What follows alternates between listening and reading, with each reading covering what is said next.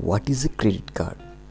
A credit card is a thin rectangular plastic card issued by financial institutions which lets you borrow funds from a pre-approved limit to pay for your purchases. The limit is decided by the institution issuing the card based on your credit score and history.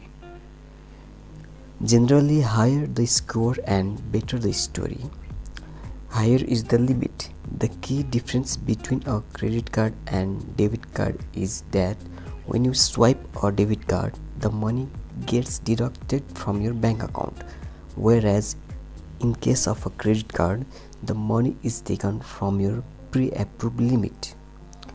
Users can swipe the credit card to make a payment or use it for online transactions after you apply for a credit card simply make sure that the borrowed amount is repaid within the stipulated time frame to avoid penalty charges. Your credit card details are always secure with the card issuer and you should not share your credit card information with anyone to avoid fraud